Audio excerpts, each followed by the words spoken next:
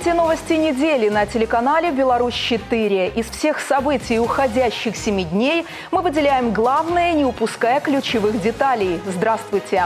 Время собирать урожай. Уборочная кампания медленно, но набирает обороты. Пополнение бюджета, стабильность экономики и общества. Сотрудники налоговой службы сегодня отмечают профессиональный праздник. Серебром по стеклу. Наши корреспонденты узнали о секретах создания амбротипов. Подробности этих и других событий в ближайшие 26 минут. Дождливая погода, установившаяся на этой неделе на большей части территории Гомельской области, внесла коррективы в ход полевых работ. Значительную часть трудового дня комбайнеры проводили на мехдворах. Выражение «у природы нет плохой погоды» в данном случае оказалось не совсем уместным. Лето 2019. Сначала затяжная засуха в ожидании дождя, а после продолжительные осадки и сильный ветер. Погода и урожай. Чем могут обернуться для отрасли капризы природы и как закончить сезон с минимальными убытками? Об этом в репортаже моих коллег.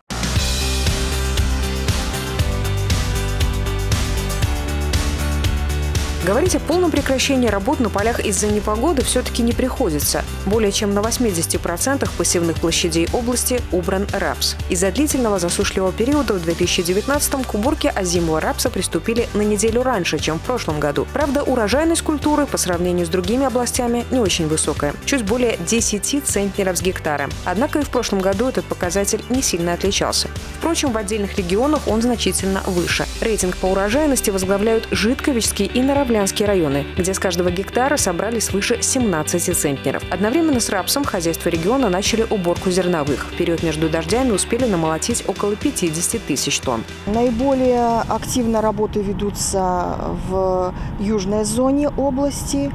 А, там убираются в основном пшеница, в первую очередь. Уже около 11% пшеницы убрано. Затем идет рожь, третикали, после этого остальные культуры. Зерно, которое созрело, оно осыпается. Вот в этом большая проблема. Плюс дожди идут с ветрами, а с порывистыми ветрами, соответственно, наблюдается полигание площадей зерновых. Это тоже нет, отрицательно воздействует на уборку.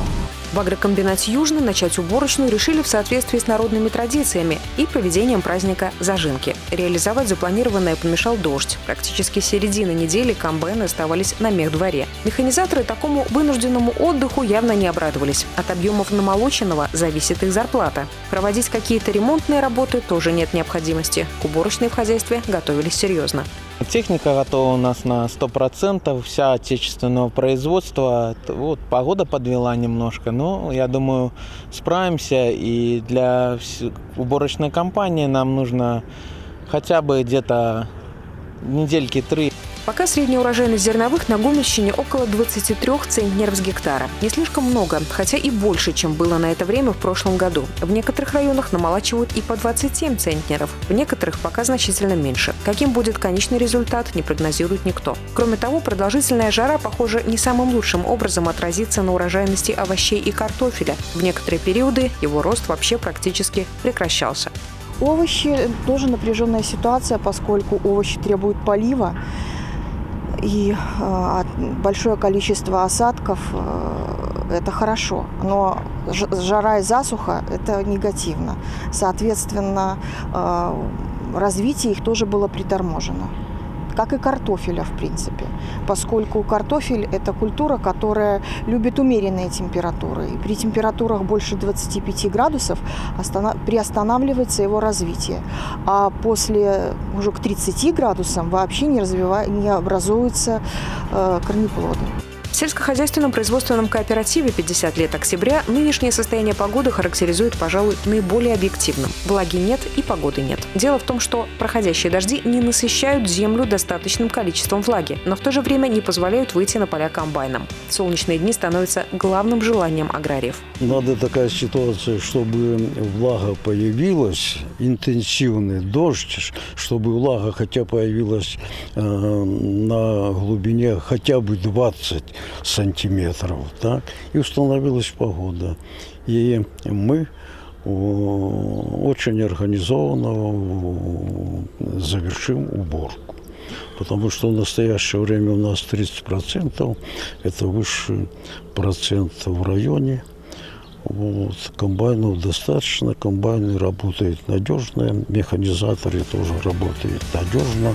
Впрочем, полностью остановить работу в хозяйствах не может даже дождливая погода. Поля, где еще недавно рос рапс, начали готовить к озимому севу. Его проведут где-то в начале сентября. Это достаточно большие площади. В целом по области без малого 50 тысяч гектаров. Еще одна задача – заготовка кормов. Здесь можно вспомнить семинар, который прошел на Гомельщине еще в начале мая. Тогда участникам показали заготовку кормов из озимых зерновых и крестоцветных культур, посеянных полостным способом. Его суть в том, что на одном поле одновременно выращиваются различные культуры. В данном случае демонстрировали сурепицу и рожь.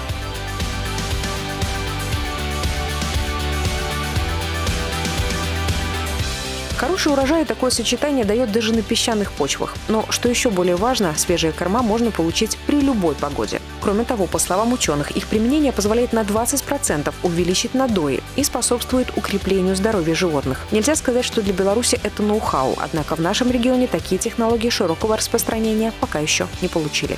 Олег Сюсюров, Ольга Коновалова, Валерий Гапанько. Новости недели. Сегодня у работников налоговых органов страны профессиональный праздник. Традиционно он отмечается во второе воскресенье июля. В последние годы особенно заметно. В своей работе ведомство смещает акценты с фискальной или контрольной части функции на взаимодействие с плательщиком. Старается стать его партнером в исполнении обязанностей по уплате налогов. Как результат, из года в год доля платежей, поступивших в добровольном порядке, растет. Сегодня Сегодня это 97%. О развитии налоговой службы в регионе наше большое воскресное интервью с начальником областной инспекции Владимиром Дивойном.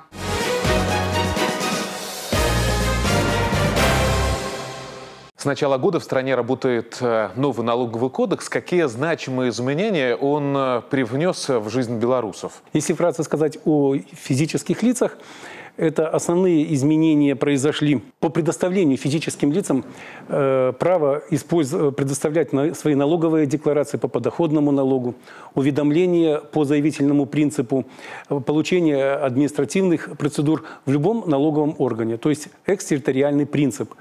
Э, сегодня не надо обращаться в налоговую инспекцию по месту своей регистрации.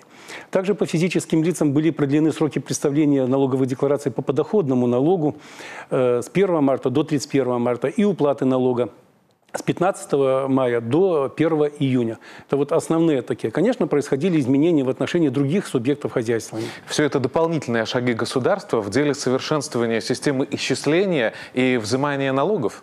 Совершенно правильно. И вот если мы только что коснулись физических лиц, то для индивидуальных предпринимателей, для юридических лиц основное – это э, ясность, доступность э, налогового законодательства и, конечно же, это снижение налоговой нагрузки на бизнес.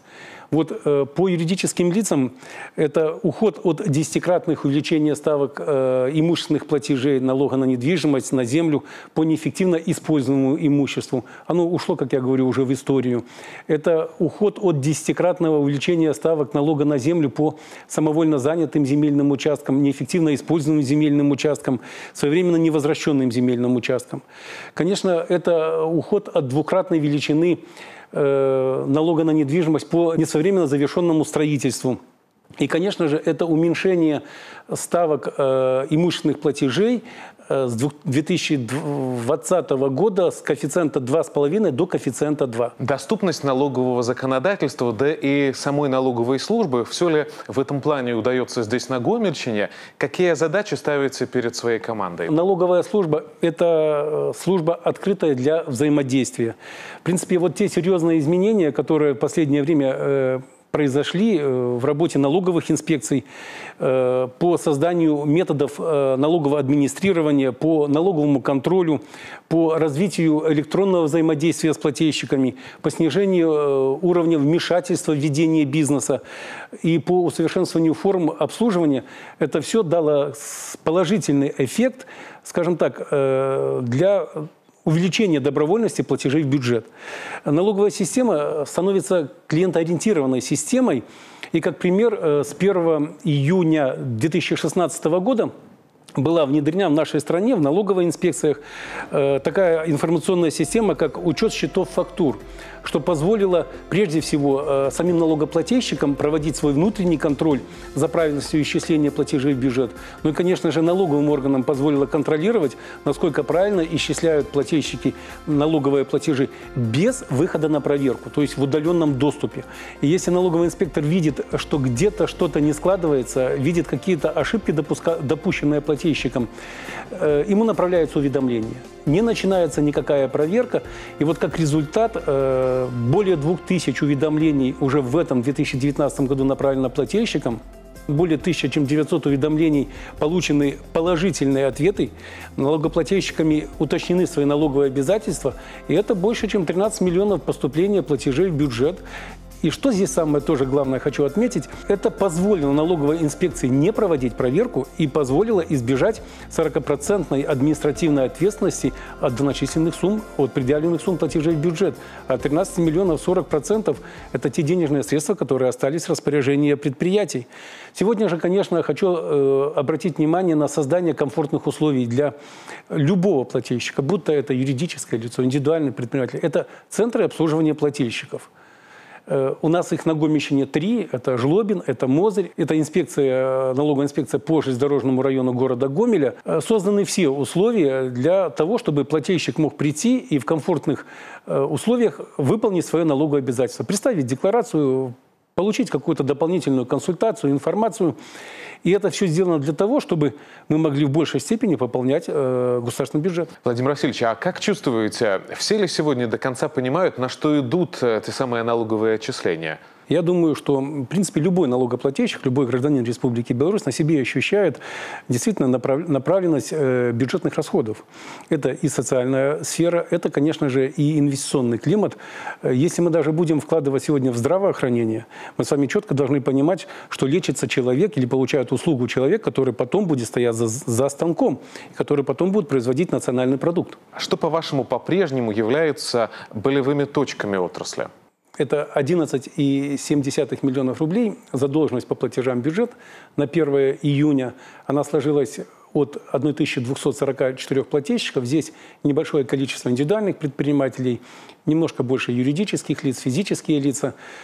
Э, вот четкое исполнение, своевременное в полном объеме исполнения налоговых обязательств, вот, э, наверное, было бы э, правильно назвать вот это болевой точкой. Но эта проблема решаема, это проблема... То, с чем работаете да, сегодня? это проблема, э, с которой мы работаем. И не только мы работаем с этой проблемой, с этой работой. Проблема работает и сам налогоплательщик, потому что он заинтересован иметь э, право свободно распоряжаться своими денежными средствами.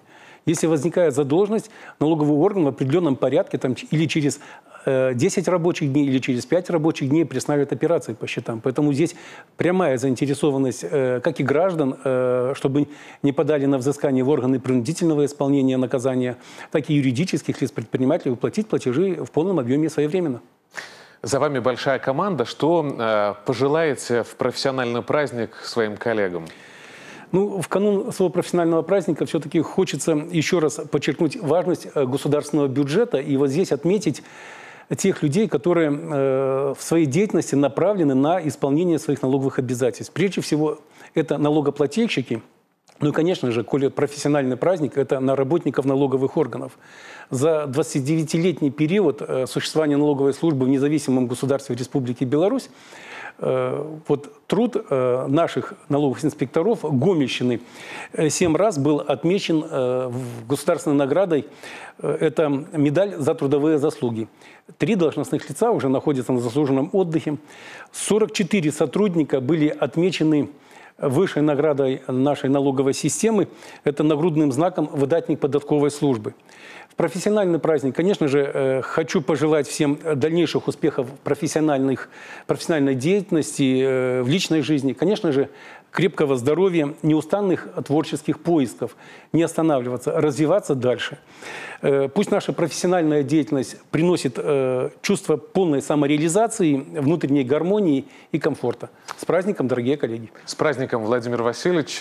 Успехов в делах и до встречи в эфире. Спасибо, Спасибо. за интервью. Профессиональный праздник – хороший повод собраться вместе, обсудить достижения и уточнить планы. Сотрудники областной инспекции подвели итоги работы в этом году на торжественном собрании. Об этом и других событиях недели подробнее в обзоре от службы информации.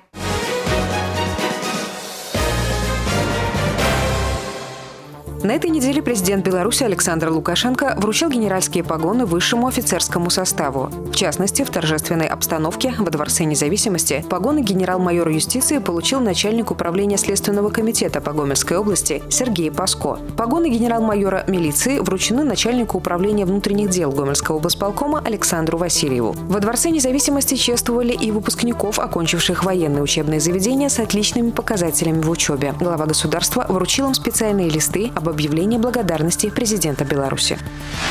Сегодня налоговая система Беларуси отмечает свое 29-летие. Накануне профессионального праздника результаты работы в этом году подвели сотрудники областной налоговой инспекции. В налоговых органах нашей области работают около 740 человек. 80% из них – женщины. Об эффективности их деятельности можно судить по тому факту, что в регионе выполняются все запланированные показатели. В консолидированный бюджет области с начала года перечислен 1 миллиард 300 миллионов рублей. Доходную часть формируют более 19 тысяч состоящих на налоговом учете учете юридических лиц, 28 тысяч индивидуальных предпринимателей и более 439 тысяч физических лиц. Движение по новому автомобильному мосту через реку Сош в Гомельском районе планируется открыть 7 ноября. Массивная конструкция протяженностью 520 метров располагается на автомагистрали М8. Напомним, строительство началось в ноябре прошлого года. Сейчас работа идет в круглосуточном режиме. Новый мост полностью металлический. Необычным будет и цветовое решение. Он станет первым в регионе в сине-бирюзовых тонах.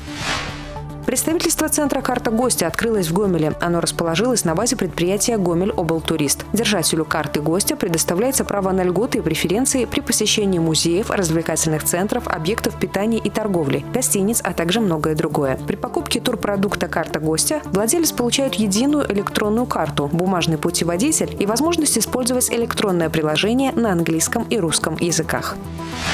Под Гомелем завершился международный слет юных спасателей. Форум проходил в 17 раз. В этом году в нем принимали участие представители 14 стран, среди которых Россия, Украина, Польша, Германия, Латвия и Армения. Впервые на соревнования приехала команда из Объединенных Арабских Эмиратов. В течение недели более 100 юношей и девушек соревновались в спортивных и творческих конкурсах, интеллектуальных играх. По итогам всех соревнований третье место досталось команде Азербайджана, второе – у юных спасателей из Латвии, победа у белорусов – команды Могилевской области.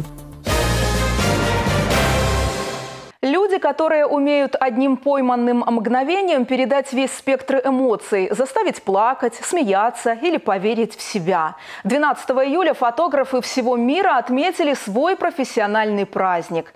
Сегодня фотографом в узком смысле слова может назвать себя практически каждый, у кого в телефоне есть камера. Но для профессионалов фотодело даже не ремесло, это целое таинство.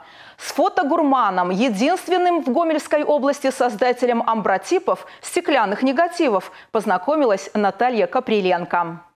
Попадая в этот дом в поселке Чонки, сразу понимаешь, здесь обитает фотограф. Быть может, чисто на интуитивном уровне, пусть и очень качественные, но цифровые снимки фотограф открывает сразу, на показ. Творчество, которое действительно очень интимно, где душа наизнанку, и каждый штрих на кадре сделан собственной непрофессиональной рукой, спрятано от любопытных глаз посторонних людей. Вячеслав Бахметов – экономист по профессии, фотограф Фотография хобби. Он фотогурман, единственный в Гомельской области и один из шести авторов в Беларуси, работающий в технике амбротипия. Это технология одного из самых ранних фотографических процессов, которому около 170 лет. Это вообще негатив, получаемый на стекле. То есть здесь э, наносится светочувствительный слой. Э, ну, я потом покажу, да, то есть, да, пожалуйста. То есть если снять это все, да, то она на свет будет прозрачная. Я немножко здесь сделаю кощунство. Ее меня ругает мой. Это сын, да? Это мой сын, да. Ну вот, вот можете посмотреть на нее, вот она прозрачная. То есть если на темное ложишь, то она это самое. Э, эти, этот э, способ был э, придуман для того, чтобы получать с этого отпечатки. Стеклянный да. негатив. Да, да.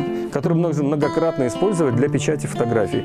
А это просто бархат, это самый темный материал, который вообще есть. По сути, прозрачный стеклянный негатив превращается в позитив на темном фоне. Если кто-то посчитает, что это своего рода фотоиллюзия, то сейчас последует разоблачение. Вячеслав Бахметов держит интригу. Он приглашает нас, так сказать, за кулисы в домашнюю фотолабораторию. Вот это серебряная ванна. Здесь э, раствор нитрата серебра. Вот это кассета, в которой мы значит, положим фото, будущую фотографию. Наливается колодий. Данную пластинку я опускаю раствор нитрата серебра.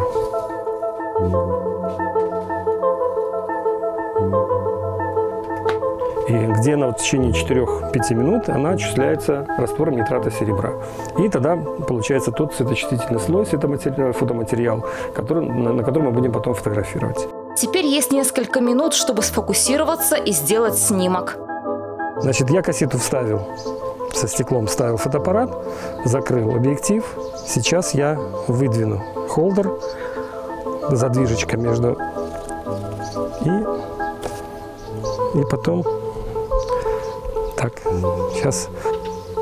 Раз, два комнате с красным фонарем изображение проявляется. Рождается уникальный снимок. Он прекрасен своей несовершенностью. Получилось, но не вижу резко, не резко. В принципе, уже можно даже включить свет. Теперь понятно, воссоздавать подобный процесс и работать в этой технике может настоящий энтузиаст.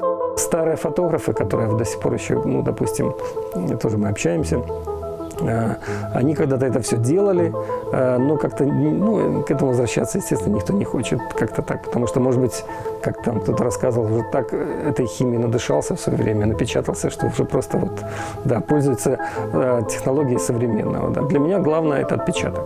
Поэтому я нашел для себя в этом вот удовольствие, во-первых, от процесса, а во-вторых, получить Э, тот вот уникальный отпечаток, э, который вот э, реально я вот хочу повесить на стенку и, допустим, или показать на выставке. Разглядывая семейную коллекцию портретов конца 19-го, начала 20 веков, понимаешь, что вдохновляет автора единственных в Гомельской области амбротипов экспериментировать и совершенствовать технику альтернативной фотографии. Сегодня Вячеслав Бахметов мечтает организовать передвижную фотолабораторию для создания своих стеклянных работ. Пока его главные музы и модели супруга Ольга, сын Иван и дочь Марьяна в обстановке любимого уютного дома.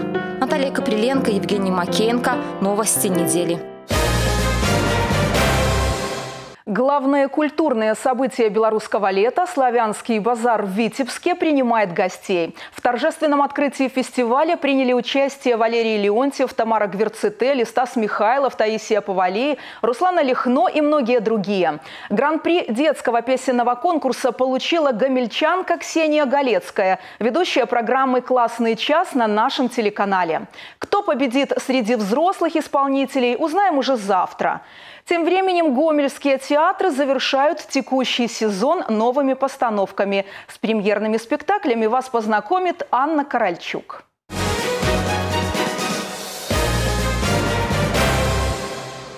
За звание победителя детского музыкального конкурса «Витебск-2019» соревновались юные таланты из 21 страны мира. Конкурсанты исполняли песню на родном языке и мировой хит. Для выступлений Ксения выбрала композиции «Храй» и «Back in the USSR» из репертуара The Beatles, чем покорила жюри во главе со шведским певцом Боссеном. Золотую лиру Ксения Галецкая получила на сцене летнего амфитеатра из рук президента Республики Беларусь во время торжественного открытия 28-го славянского базара в Витебске.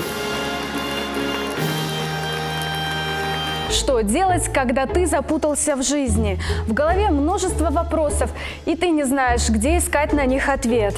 Наверное, стоит сделать паузу и отправиться туда, где все начиналось.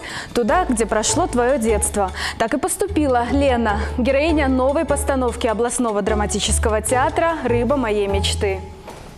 Там она разговаривает со своей мамой, друзьями и первым возлюбленным. Тогда-то девушка и понимает, что главное в жизни – любовь, и именно она движет человеком. Режиссер постановки Даниил Филиппович характеризует жанр нового спектакля как безудержное веселье, переходящее в слезы и обратно. Зрители ожидают как минималистичные мизансцены, так и дикие танцы. В спектакле нет декораций, только открытая сцена, которая не прячет ни переодевания, ни светового оборудования. Актеры примеряют на своих персонажей различные маски. В музыкальном оформлении сочетается современная классическая музыка, а главную роль исполняют сразу две актрисы.